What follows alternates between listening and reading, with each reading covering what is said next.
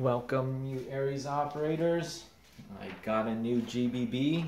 It's the Armorer Works Custom HX1001 split slide.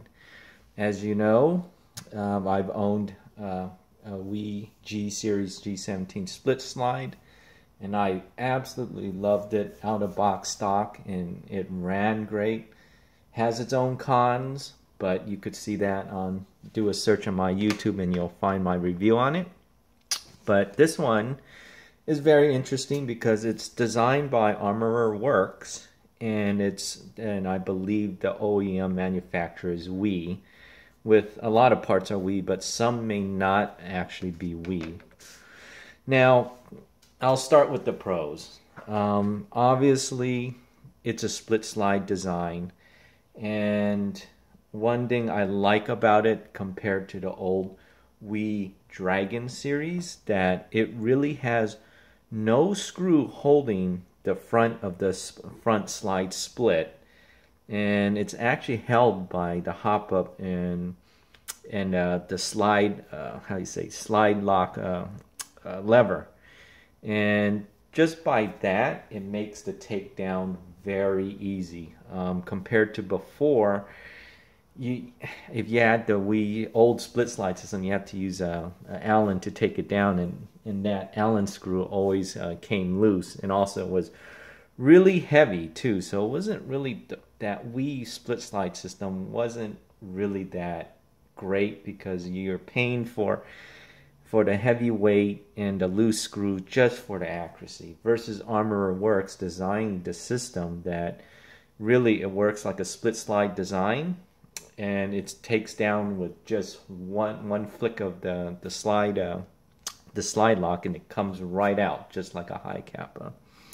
And the great thing about it is it the the front obviously is bolted down from the from the hop up unit and the slide lock that the outer barrel inner barrel is really tight. So it's by theory it'll give it one of the best accuracies and also the back rear of the of the slide is actually extremely light so it gives it a really fast cycle rate um, the poly one thing I do like about it that I believe the polymer lower not the lower receiver but the polymer grip is actually thin enough that your medium to small hands feels like it's a really fit nice glove to it.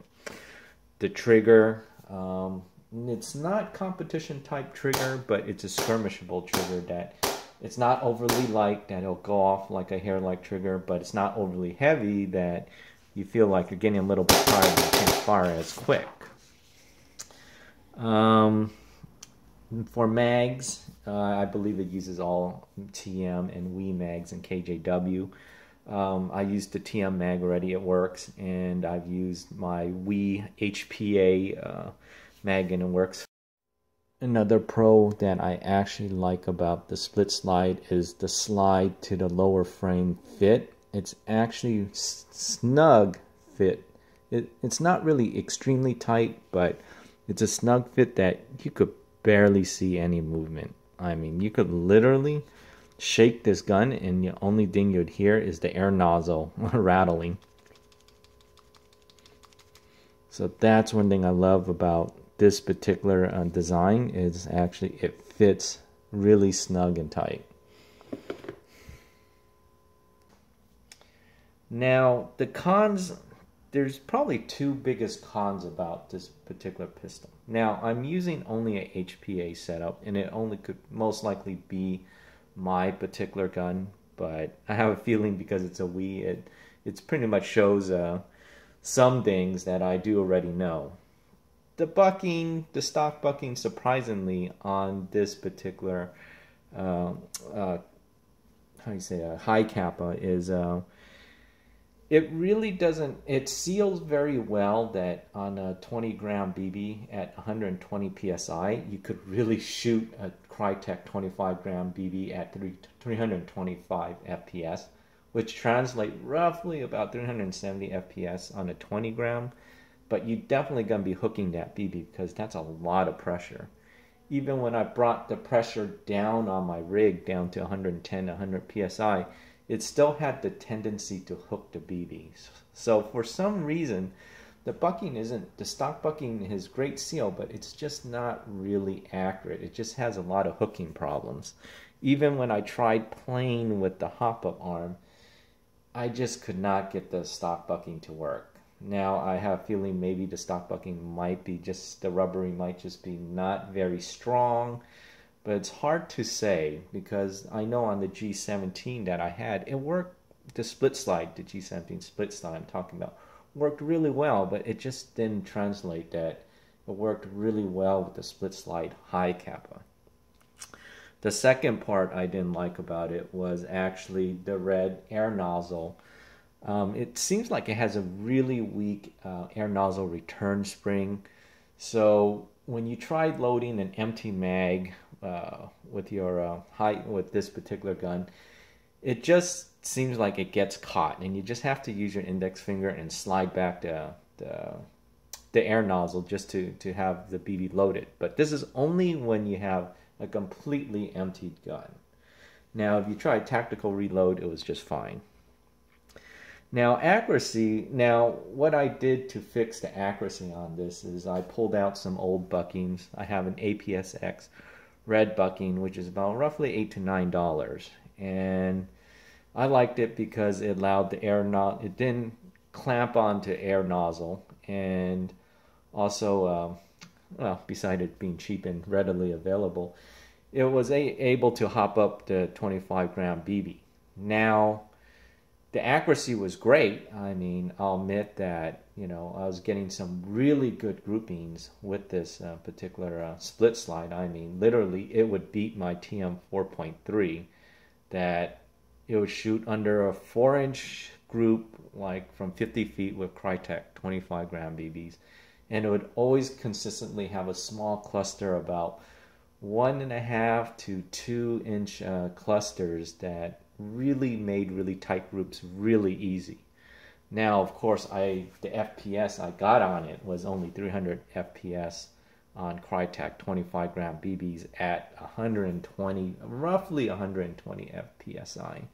So I did lose a little bit of the sealing ability uh, of the original stock bucking, but for the trade for the accuracy, I'd rather take the accuracy.